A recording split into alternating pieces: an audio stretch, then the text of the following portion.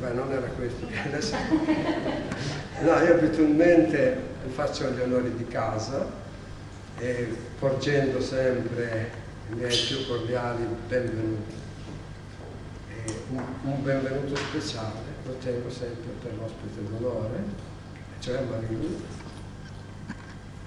E ormai è risaputo che in questo museo, essendo diventato un museo polifunzionale, facciamo di tutto ma una cosa che mi piace molto fare è la presentazione del libro, perché un libro presentato in un museo dove c'è la culla di cultura è sempre un pochino meglio rispetto a tante altre cose. in considerazione del fatto che la settimana scorsa, per esempio, abbiamo presentato, sempre di una donna, eh, un libro che si riferiva a Pannuti, Franco Panuti è quello dell'ANT.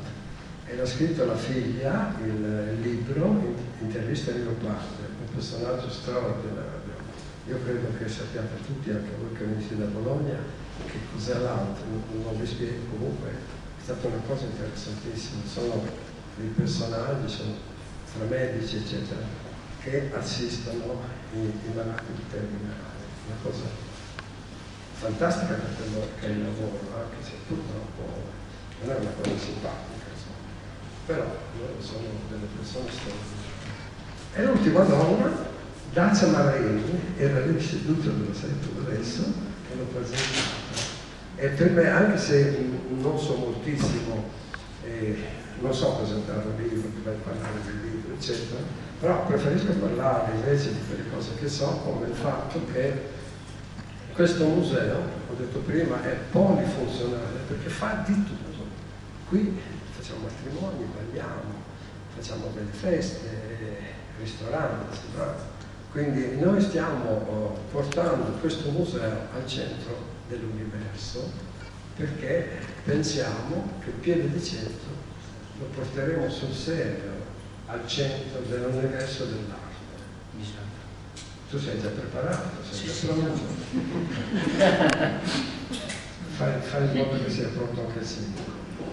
Comunque, adesso io mi fermo, eh, io mi fermo qui, non sto a parlare, mi ha già eh, detto di, di, che cosa si tratta e siccome che, eh, io da bambino ho sempre avuto paura perché abitava in una delle case più brutte di Pieve e non c'era la luce eh, io andavo a casa solo di giorno e dovevo stare attento che venisse la nota d'os.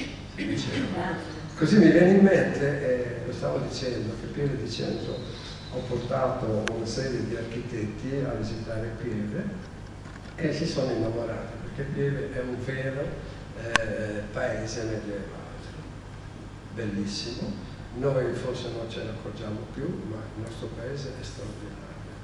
E allora mi diceva eh, mia mamma che ricordava ancora che alla sera, eh, mezz'ora prima del calare del sole, suonavano le campane. Si chiamava l'Horred Note.